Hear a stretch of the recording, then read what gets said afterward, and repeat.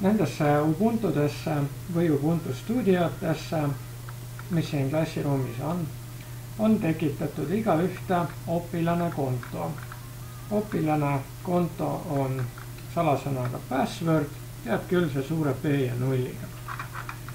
selle konto peal on üldised failid ja seadistused, mida kasutavad kõik kasutajad, kes seda sama arvutit siin kasutavad. selleks, et sinu seadistused ja sinu projekti failid oleksid eraldi sama arvutit kasutavate teiste kasutajate seadistustest ja projekti failidest, teed sa endale oma konto. see käib niimoodi, et me kõigepealt käivitame sellise rakenduse nagu kasutajad või kasutajate grupid. saame seda teha äh, siit selle käivitusnupu kaudu, Ubuntu stuudiol on see sinist värvi ja väiksem. vajutan siia ja kirjutan kasutajad, kui sul on ingliskeelne, siis on see users. ja nüüd pakutakse mulle rakenduste nimekirjas välja selline asi nagu kasutajad või kasutajate grupid.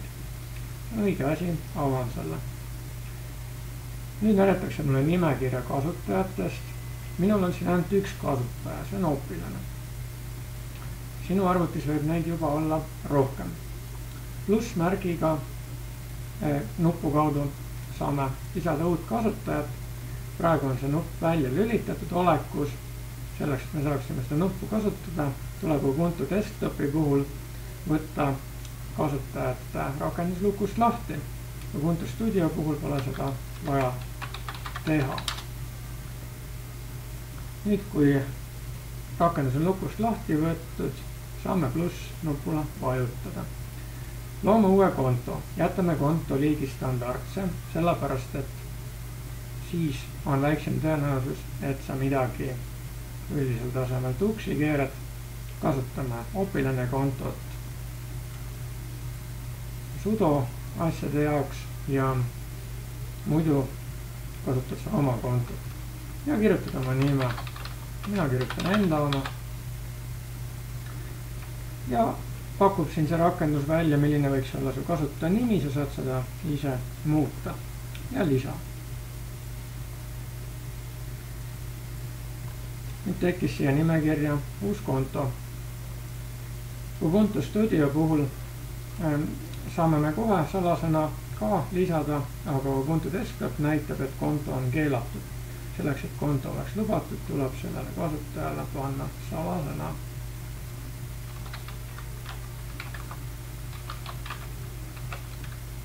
Parool peab siis olema vähemalt nõrk.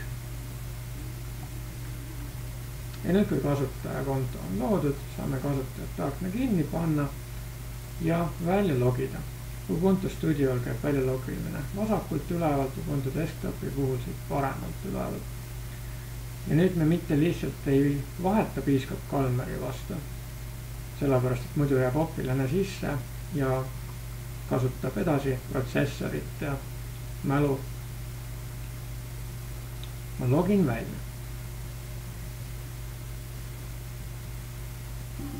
ja nüüd valin nimekirjast enda kasutaja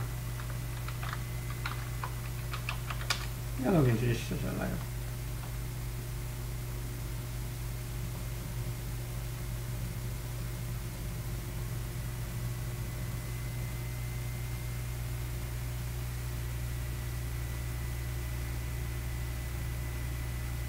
Peale sisse logimist näidatakse sulle Ubuntu desktopi puhul otseteesid, klahvikombinatsioone, selle akna saad sa uuesti ette, kui sa hoiad superklahvi all, superklahv on siis Windowsi logoga klahv tavaliselt, Windowsi lipukese logoga klahv, noh